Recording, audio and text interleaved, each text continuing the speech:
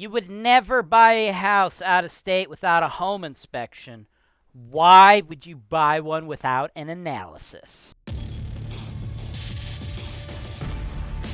This is your show. This is the show where I work for you directly, taking your needs. I'm going through the MLS and I'm trying to find the best possible deal for you guys. Put down 25%. That's the perfect way to buy this. That's why real estate investing is the greatest industry in the world. What's up, folks? This is the MLS Search and Analysis Show. This is Holton Wise TV. I'm James Wise, and just like I said at the top, dude, you'd never buy a property out of state uh, that you didn't get an inspection, right? You're out of state, presumably you didn't walk it yourself. You would never buy that without having somebody uh, who's unbiased that you trust walk it, right? That'd be insane. Likewise, you should never, in uh, like if you're intelligent, right? If you're a, an astute investor, you would never consider buying an investment property without somebody looking over it for you, right? Listing agents, right? That's the uh, real estate agent in the equation that works for the seller. They got one job. Their job is to sell that property, not sell it to you, to sell it for who? The seller, right? Unless you're giving somebody money in this business, folks, they don't fucking work for you. I, th- I think a lot of you guys out there seem to think like uh, these listing agents work for you. They fucking don't. Did you give them any money, motherfucker? No, you didn't. So they don't fucking work for you, right? All right, tangent over. And Simon, brother, it's not directed at you. It's just directed at, you know, everybody, right? Simon, you're a good dude, though. You understand the game, right? And that's why you're here. That's why you purchased the 10 pack. That's why we do business together because you understand how it goes, right? You need somebody to give you an unbiased take on this. And you can't see this photo that I want you to see uh, in the listing agreement, but I was looking at this property on Google Earth. And uh, what you see in the listing looks all pretty good, right? Uh, but the Google Earth photo is just, in my opinion, incredibly important. So let me let me show you that real quick, bro. Let me let me get this to you because I think this is like the crux of the investment. Like people ask me, like, "Yo, is this a good deal? Is this a bad deal?" And like, dude, there's no such thing as like good or bad. It's like you gotta understand what you're buying, right? Like it could be good, could be bad. Now, here's the deal, bro. This is your house, right? This is a big old boy, right? You sent this to me, right? Five unit apartment building. It's a big daddy. This is right next to it, okay? This is where your tenants have to drive to park. Now, do I think you can make money on this deal? Yes. Do I like this neighborhood for investing? Yes. Do I have the biggest fucking real estate portfolio in this fucking neighborhood? Yes. Do I have fucking eyeballs? Yes. Can my eyeballs see that this is not what I would consider nice? Yeah, I think anybody can, right? So you have to understand what you're buying. What you're buying is a low income cash flow producing asset. Now, the address 3136 West 50th, Cleveland 44102, right? There's always good and bad with real estate. For every pro, there's a con, right? So we have a rough neighborhood, clearly. But what you get is you get a price to rent ratio uh, that's going to be, you know, much different than what you'd get in nicer areas, right? They have listed it at 189.9, and I think that's too high given the condition of the building, condition of the neighborhood, right? I think Lewis, this deal, or I'm sorry, I think Simon. Sorry, brother. I just did a video for a guy named Lewis earlier. Simon, I think this uh, deal would make sense for you at 175K because despite its negatives, dude, it's kicking off money, bro, right? We got 650, 900, 600, 775, and 480 coming in. 3,385. So the thing is bringing in freaking $40,620 a year. Of the 40,620, I think you're going to spend about half of that under normal operating circumstances, right? You're going to be spending an average of $6,000 on capex, repairs, maintenance, vacancy, and non-payment, right? Back to the uh, Google shot, right? Look, it's D grade neighborhood, dude. D grade. I, it's my favorite D grade neighborhood in Cleveland because there's a little place called Metro Health, large healthcare company they're investing a billion dollars into this neighborhood, right? They're going to invest into low income housing, right?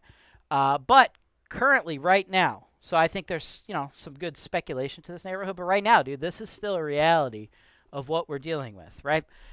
You know, in case anybody out there is watching my show and they don't really understand how this game works, like if I'm a prospective tenant and this is how I got to get into this home, this is what I see, you could bet your ass that I am probably a higher risk, lower income tenant, right? There's not a lot of people that have bachelor's degrees from four year universities that are living in these apartments. You guys have to understand that. Like when you're dealing with this socioeconomic class, you're going to get people that are on government subsidies, uh, that are one missed paycheck away from eviction, that are one flat tire away from losing their job, things of that nature. So when you invest in these neighborhoods, we can make a lot of cash, but you got to know there's going to be issues. That's why, of course, we want you to hold back, right? You get the money, right? You get that 6K a year, right? That comes to you when things are rolling good. But I want you to know that 6K that comes into you, uh, that's fool's gold, right? Because you're going to need to save that for repairs and maintenance, right? When these people move out, they don't leave the units in the best condition, right? Vacancy and non payment. If you think you could buy a five unit apartment building that looks like that and you're not going to evict people, you're out of your mind because you will. And then, of course, capital expenditures, right?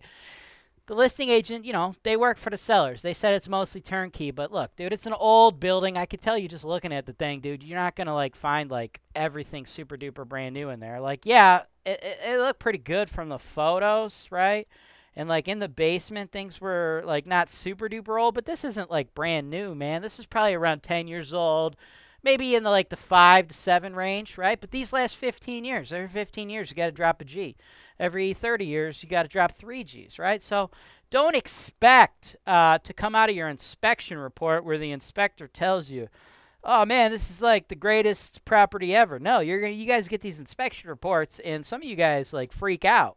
Like, dude, it's a hundred year old building in a low grade neighborhood, right? And you guys sometimes like I've even had investors where they get like a a 90 page inspection report because you bet your ass on a building this big and this old it's going to be like 90 pages and they're like oh man i got the inspection report uh, how much does it cost to fix it fix what it's fucking 90 pages motherfucker what do you, what do you mean fix fix what to what standard right like to are you asking me to fix it to the standard of a fucking McMansion built in 2021, uh, where where you know just a bunch of fucking people living on the cul-de-sac driving their goddamn fucking Hyundai's. Like what what are we talking about here? This is a hundred year old low income property. So that the inspection report, brother, it's gonna look rough, right?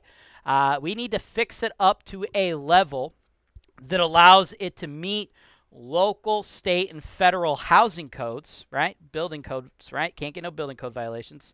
That's number one. Number two, we need to get it to a level that allows us to put government subsidized tenants in there, right? Because that is the key to these types of investing, man. Your tenant base is difficult. Your tenant base is tough. Your tenant base is very close to not being able to pay you rent. You need to get that government subsidized rent to survive in these type of neighborhoods. So, Hey lenders, are you looking to be part of our referral program? If so, send us an email at sales at holtonwise.com.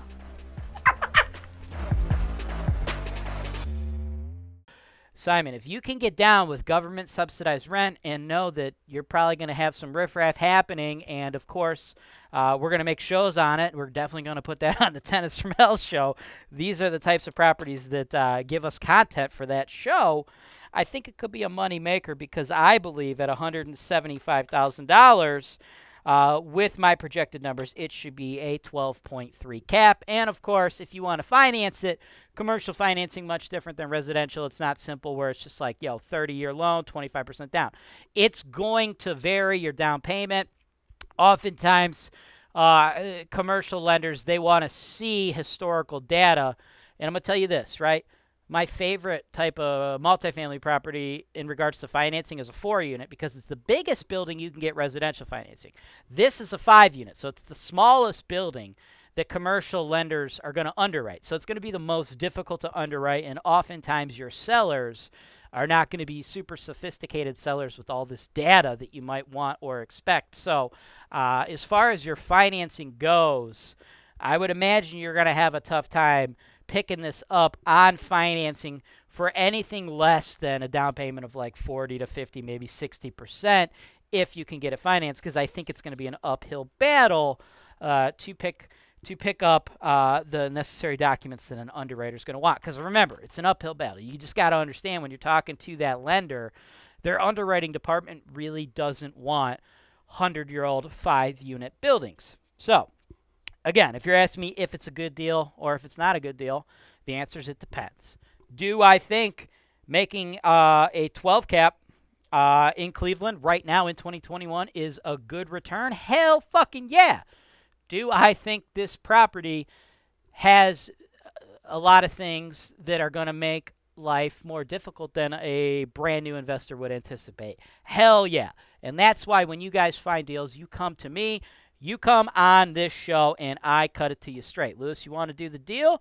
I will happily represent you. You don't want to do the deal, you want to send me some new deals, that's cool too, brother. It's all about you. Everybody else, if you like what you saw today, shoot us an email, give us your number, and we will talk to you about getting you your own set of videos just like Simon. I think I called him Lewis again, didn't I? Lewis, Simon, I don't know why I keep calling you Lewis, bro. My bad. Thanks for watching. Subscribe to Holton Wise TV for more financial information, education, and entertainment.